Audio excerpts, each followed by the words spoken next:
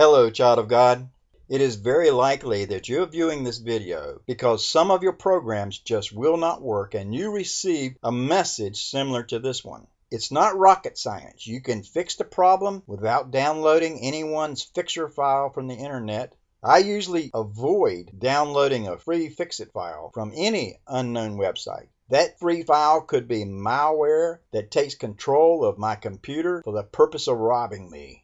And like I said, it's just not rocket science. You can replace the missing file yourself with just a few basic computer skills. The missing file is a dynamic link library or DLL file. The simplest way to explain the file, it's like a bridge between your program and the CPU of your computer. At the moment, your bridge is out, so we're just going to put the bridge back. It is likely that you use CC Cleaner or some malware program or Spybot and it gobbled up that program by mistake, not recognizing that you needed it. I'm posting all this information in the description below, so you can just highlight and print the instructions. No need to make notes or struggle. So now I'm just going to show you your basic goal and expect you to print out and follow the instructions and make it happen. It'll be fun. Your first goal in this repair is to find a copy of the missing DLL file, not download it. You can probably find an old copy of the file somewhere on your own computer. If you do not find one on your computer, then copy it from someone else's computer. I copied and used one from my wife's computer. It worked fine. But I also later found over 50 copies on my own computer. If you're using Windows 8, just click the little file folder icon at the bottom of your desktop page and then click Local Disk C.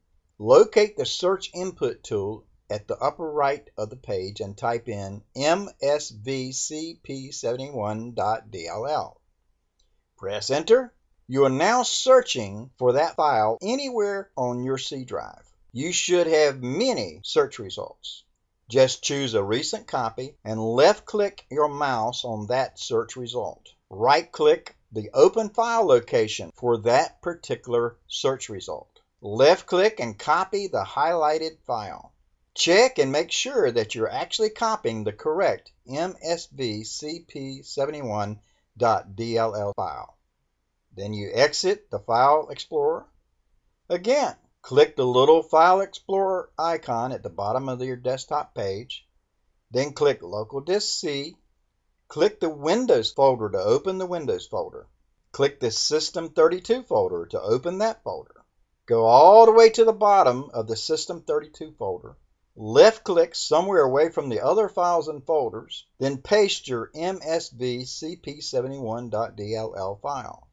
You don't want it to end up into any other folder or anything. It's at the right place. That's why you're going away from the other files and folders and pasting it. This will fix many of your Windows errors concerning that particular missing DLL file. Since the MSV CP71.dll was missing from my Sony SoundForge audio program, I also had to paste a copy of that same file in my Sony SoundForge program folder.